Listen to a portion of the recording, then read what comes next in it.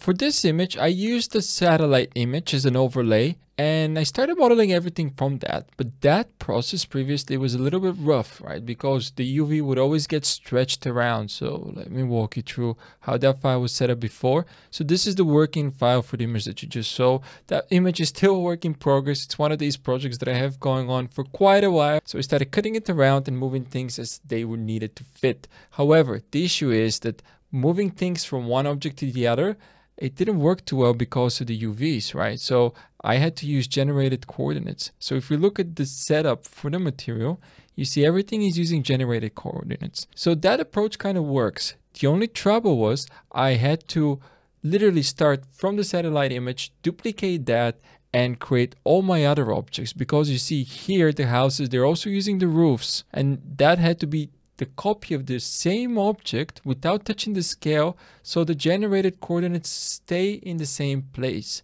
So it was a little bit of a tricky workflow. So let's check out that image in here again.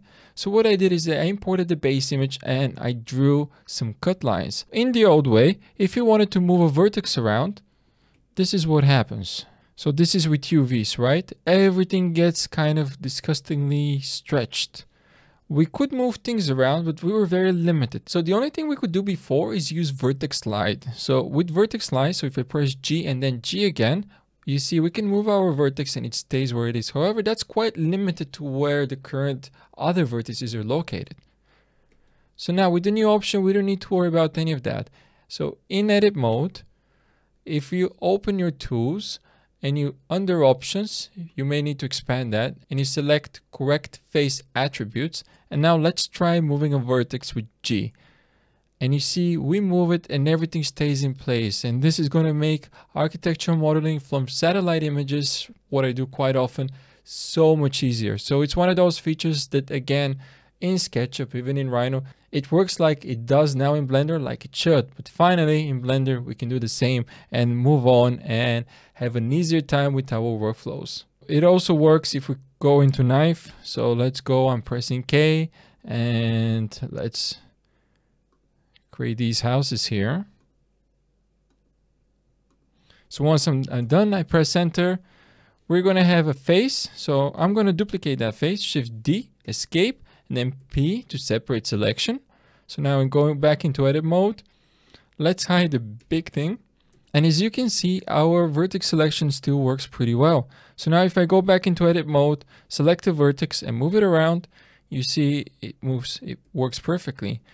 We can even do something like this. So if I have these vertices, Shift D, extrude.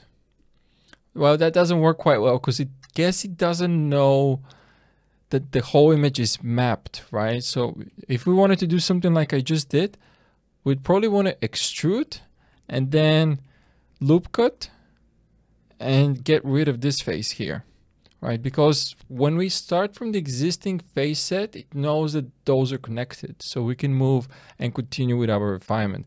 So now let's say we wanted to do our road here or the other side of the park. So um, what am I doing here? Edit mode one and we start with something like this. And then yeah let's do the road right? So we have the road then we just extrude.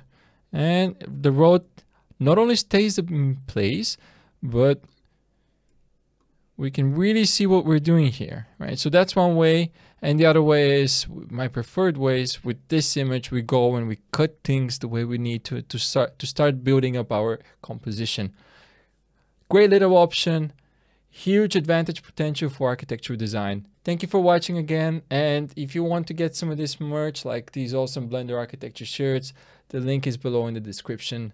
And if you find this video useful, make sure you smash the like button. See you next time.